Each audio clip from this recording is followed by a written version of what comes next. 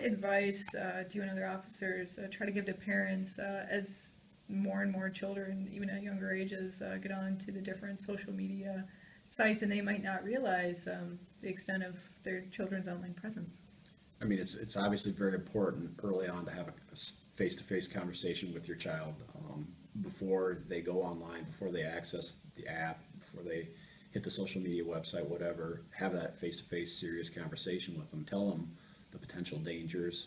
Um, I mean, those of us in law enforcement are, have firsthand experience seeing these cases and investigating them. I can tell kids this is the potential danger. So it's imperative that the parents, you know, do their job and sit down and have the conversation, much like you would before you send your child to the park or um, to the to the mall or whatever. You, you talk about the dangers potentially involved and how to respond to those dangers. So again, it starts with just that conversation, being upfront and being blunt and honest about it, and making sure that you know you also have access to all their electronic devices, to their their internet, you know, their passwords, um, all that access information. And as the parent, you have every right to have that.